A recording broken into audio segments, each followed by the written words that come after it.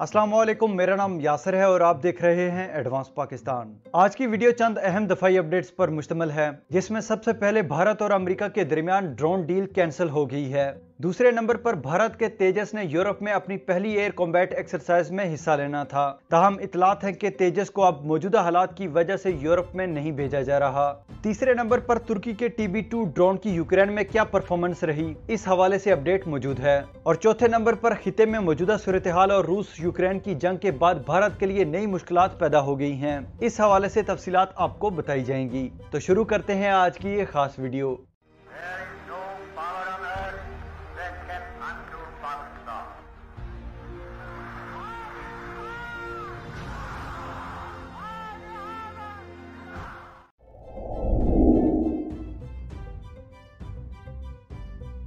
भारत ने 30 predator drone खरीदने के लिए अमेरिका से माहिदा कर रखा था। ये माहिदा 3 बिलियन डॉलर का था। भारत अपनी तीनों अफवाज को 10-10 ड्रोन से लैस करने का इरादा रखता था। ताहम अब इतलात मिल रही है कि भारत ने इस डील को महँगी होने की वजह से कैंसिल कर दिया है और अमेरिका को अपने फैसले से आगाह कर दिया है। भारत को ये drone 100 million dollar per unit के हिसाब से फरोख्त किए जा रहे थे, जो कि वाकई एक महँगी डील थी। एक अंदाजे के मुताबिक अमेरिका ये एक ड्रोन 12 से 16 मिलियन डॉलर में तैयार करता है, जबकि चीन इस क्लास का ड्रोन 4 से 6 मिलियन डॉलर में तैयार कर रहा है। यहाँ से वाजह हो जाता है कि अमेरिका भारत को अपने ड्रोन कितने महँगे दामों फरोख्त कर रहा था। याद रहे, भारत ने ऐसे दो ड्रोन पहले ही लीज पर हासिल कर रखे हैं, जिन्हें भारतीय नेवी रेकॉनेसेंस और मैरीटाइम पेट्रोल मिशन में इस्तेमाल कर रही है। भारतीय मीडिया के मुताबिक भारतीय इदारे मुल्की सतह पर ऐसे ड्रोन तैयार करेंगे।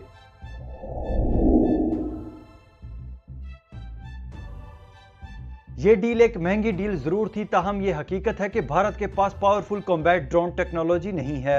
इस वक्त भारत के तमाम ड्रोन प्रोजेक्ट्स कई सालों से फैक्ट्रियों तक महदूद हैं।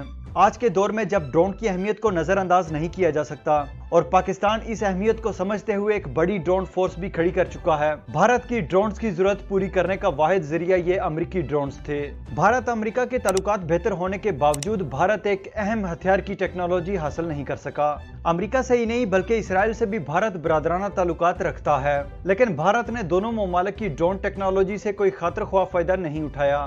दूसरी तरफ़ पाकिस्तान ने इटली, चीन और तुर्की से ड्रोन टेक्नोलॉजी हासिल कर ली है। पाकिस्तान जानता था कि मुस्तकबल में ड्रोन फौज की बुनियादी ज़रूरत बन जाएँगे। इसलिए पाकिस्तान ने अपनी फोर्सेज को वक्त पर मल्टी रोल ड्रोन से लैस कर लिया। मेरे नज़दीक इस तरह के फैसले उस वक्त बेहतर साबित होते हैं, जब आपके पास एक टेक्नोलॉजी मौजूद हो और भारत के पास आर्म्ड ड्रोन टेक्नोलॉजी नहीं है, और ये एक हकीकत है। भारत के कई ड्रोन प्रोजेक्ट कई सालों ऐसी नामुकम्मल है।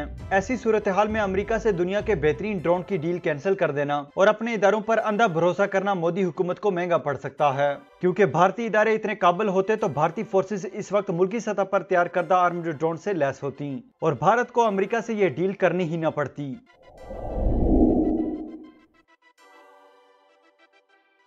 मार्च में बर्तानिया में एक बड़ी फजाई मश्क कोबरा वॉरियर होने जा रही थी, जिसमें भारत के तेजस ने भी हिस्सा लेना था।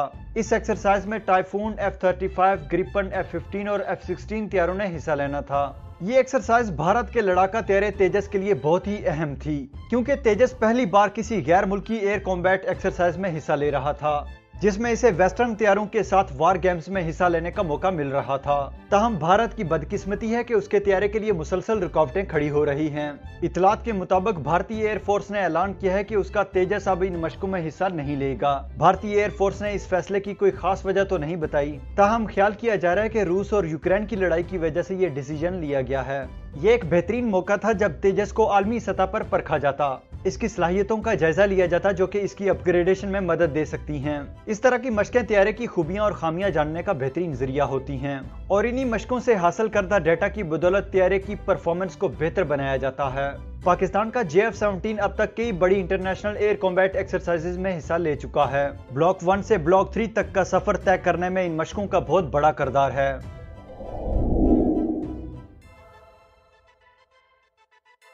रूस और यूक्रेन के दरमियान जारी जंग में यूक्रेन तुर्की का बेरख्तर टीबी टू ड्रोन भी इस्तेमाल कर रहा है। ये ड्रोन अजरबैजान ने कामयाबी से इस्तेमाल किया था, जिसके बाद इस ड्रोन की मांग में ज़बरदस्त इजाफा देखा गया। रूस और यूक्रेन की जंग में इस ड्रोन का दूसरा इम्तिहान शुरू हो चुका है, और अब तक जो इसकी परफॉर्मेंस रही है, वो बहुत ज़बरदस्त है। मुख्तलफ वीडियोज़ इस हवाले से मौजूद हैं, जिनमें देखा जा सकता है कि यूक्रेन ने इस ड्रोन की मदद से रूसी टैंकों और दूसरी आर्मर्ड गाड़ियों का बुरकस निकाल दिया है। फजाई ताकत की कमी की वजह से रूस ने यूक्रेन का बहुत नुकसान किया है। ताहम, जिस ताकत के साथ रूस ने यूक्रेन पर हमला किया था, रूस को ज़्यादा नुकसान पहुँचा है। उसकी वजह यह है कि रूसी अफवाज का मकसद था कि बड़े कॉलम्स को हमले के लिए इस्तेमाल किया जाए और छोटे कॉलम्स को सप्लाई चैन की ज़िम्मेदारी सौंपी जाए। इस तरह इन छोटे बड़े कॉलम्स को मिलाकर एक लॉजिस्टिकल सप्लाई चेन बन जाएगी, जिससे कब्जा बरकरार रखने में मदद मिलेगी। यूक्रेन की अफवाज ने रूसी अफवाज की इस हिकमत अमली को समझते हुए बड़े कॉलम्स को आगे आने दिया, जबकि सप्लाई चेन पर मामूर कॉलम्स पर ड्रोन अटैक्स शुरू कर दिए। बाद में उन यूक्रेनी ड्रोन ने जो कि टीबी टू है फ्यूल से खाली टैंकों और दूसरी फौजी गाड़ियों को तबाह करना शुरू कर दिया। इस जंगी माहौल में रूस के जदीद एयर डिफेंस मिसाइल सिस्टम अपनी ग्राउंड फ्लीट की हिफाजत पर ममूर थे। जिन्होंने अब तक चार टीबी टू ड्रोन को मार गिराया है। ताहम इस ड्रोन ने अपनी कीमत से कहीं ज़्यादा महँगे हथियारों को तबाह किया, जिसकी बुनियाद पर इसे इस जंग में भी एक कामयाब हथियार के तौर पर देखा जा रहा है। यूक्रेन ने भी इस ड्रोन की तारीफ़ करते हुए कहा कि तुर्की से हासिल करदा इन ड्रोन ने रूस से लड़ने में बहुत मदद दी। अब सवाल ये पैदा होता है कि तुर्की का तैयार करदा बेरख्तर टीबी टू ड्रोन दूसरी जंग में कितना कामयाब रहा? तो इस सवाल का जवाब वाजिया है। यूक्रेन ने तुर्की से जो ड्रोन हासिल किए थे, उनमें से चार ड्रोन को रूसी एयर डिफेंस मिसाइल सिस्टम्स ने मार गिराया है। तहम वीडियो से हासिल करदा डेटा के मुताबिक इन चार ड्रोन के बदले, यूक्रेन ने रूस के सैकड़ों टैंक और दूसरी फौजी गाड़ियाँ तबाह की हैं। दुनिया जानती है कि रूस के पास बहुत ही एडवांस्ड टेक्नोलॉजी के हमल एयर डिफेंस सिस्टम्स मौजूद हैं। ताहम उनकी मौजूदगी में अगर ये ड्रोन इतनी तबाही मचा सकता है तो इस ड्रोन को एक कामयाब तरीन हथियार समझा जाएगा। ये ड्रोन बहुत कम कीमत हैं और अगर एक ड्रोन अपनी कीमत से ज़्यादा का नुकसान करके तबाह हो जाए तो ये इस ड्रोन की कामयाबी ही तस्वर की जाएगी। यहाँ एक बात तो साबित हो गई है कि पाकिस्तान के पास मौजूद टीबी टू ड्रोन भारत के डिफेंस मिसाइल सिस्टम्स के खिलाफ मुनासिब हथियार होंगे।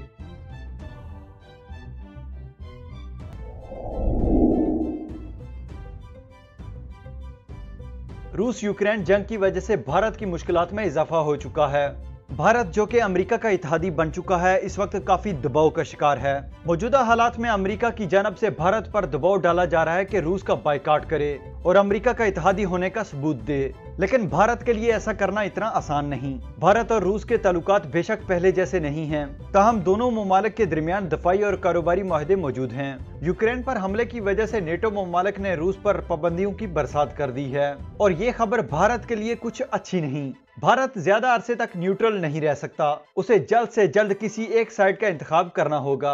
और अगर रूस का बाइकआउट नहीं करता तो इन पाबंदियों की लपेट में भारत भी आ सकता है। यूक्रेन मामले पर भारत को यह अंदाज़ा भी हो गया है कि मुश्किल वक्त में नेटो ममालिक धोखा भी दे देते हैं। ये न हो कि रूस से दोस्ती भी हाथ से जाए और वक्त आने पर अमरीका भारत को चीन और पाकिस्तान के रहमो करम पर छोड़ दे। आखिर में एक दिलचस्प हकीकत आपसे शेयर करना चाहूँगा कि मोदी सरकार की तकलीफ़ में उस वक्त शदीद इजाफा महसूस किया गया, जब यूक्रेन के सदर ने पाकिस्तान से ये कहकर मदद मांगी कि पाकिस्तान एक एटमी मुल्क है, लिहाजा रूस को रोकने में मदद करे। यूक्रेनी सदर की जानब से पाकिस्तान से मदद मांगने पर मोदी ने रूसी सदर को कॉल की और ज़ाहिर ये किया कि मोदी ने रूसी सदर को जंग खत्म करने की तलकीन की। हालाँकि मोदी साहब की इस कॉल की वजह वज़ीर पाकिस्तान का दौरा रूस था। बहरहाल, यूक्रेनी सदर ने पाकिस्तान से मदद मांगकर एक बार फिर साबित कर दिया कि पाकिस्तान अब एक बासर मुल्क बन चुका है और खिते में भारत से ज़्यादा अहमियत रखता है। इससे पहले रूस पाकिस्तान को खिते का सबसे अहम प्लेयर करार दे चुका है।